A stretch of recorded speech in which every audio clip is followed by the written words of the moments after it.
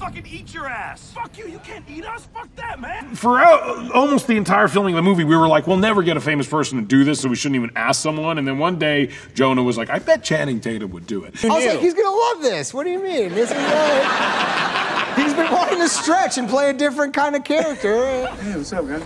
Y'all cool? It's Channing Tatum. That's Channing Tatum, dude. What the fuck? I probably had too much to drink the, the night that, that I got this email at like three in the morning. I think they were already filming. And I don't know why I even picked it up. And, and then I read the email, and it's from Seth Rogen. He doesn't email me. And he's like, hey, I hope this isn't insulting, but I had, we had this idea on, on the set for a cameo. It's Channing fucking Tatum, dog. I love him. It's fucking G.I. Joe, dude. Fucking loves me. I had never met Danny McBride, and I felt like the appropriate thing to do was to go into his trailer in that outfit and introduce myself by tackling him and humping him on the bed.